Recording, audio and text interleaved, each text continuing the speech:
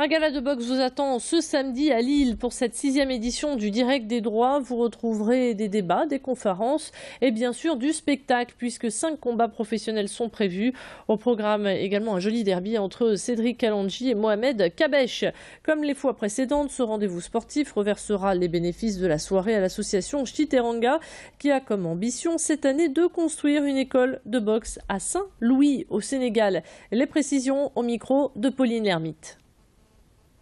C'est un partenariat qui est fort puisque on a une coopération internationale euh, basée sur la solidarité, basée sur un projet euh, humanitaire où en fait l'ensemble des bénéfices qui seront dégagés de cette manifestation sera reversé à euh, l'association Ch'titeranga et cette année il a été fait le choix de, financer la création de la première école de boxe à Saint-Louis au Sénégal. Donc voilà, on a un partenariat entre les pays du Nord et les pays du Sud basé sur le sport qui implique de nombreux partenaires lillois et dont la ville de Lille est évidemment un partenaire majeur et fier d'être impliqué dans ce, dans ce dispositif.